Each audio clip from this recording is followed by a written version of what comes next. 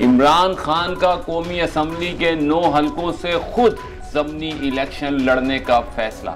सबक वजी अजम पाकिस्तान तहरीक इंसाफ के चेयरमैन इमरान खान ने कौमी असम्बली के नौ हलकों से खुद जमनी इंतबात लड़ने का फैसला कर लिया। इलेक्शन कमीशन ने कौमी असम्बली की नौ नशस्तों पर जमनी इंतबात का ऐलान कर दिया है।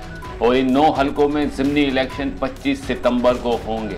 जराये के मुताबिक इमरान खान ने कौमी असम्बली के इन नौ हलकों से खुद ज़मनी इलेक्शन लड़ने का फैसला किया है। ख्याल रहे कि गुजशत दिनों तहरीक इंसाफ के नौ अरकान कौमी असम्बली के इस्तीफे मंजूर हुए थे, जिसके बाद आज इलेक्शन कमीशन ने इन नौ हलकों के ज़मनी इंतबात का शेड्यूल जारी किया है। ज़मनी इंतखब एन ए बाईस मरदान तीन, एन ए चौबीस चार सद्दा दो, एन ए इकतीस पिशावर पाँच, एन ए पैंतालीस कुरम एक एन ए एक सौ आठ फैसलाबाद, एन ए एक सौ अठारह ननकाना साहब दो, एन ए दो सौ सैंतीस मलिर दो, एन ए दो सौ उनतालीस कराची और एन ए दो सौ छियालीस कराची जनूबी एक में होगा।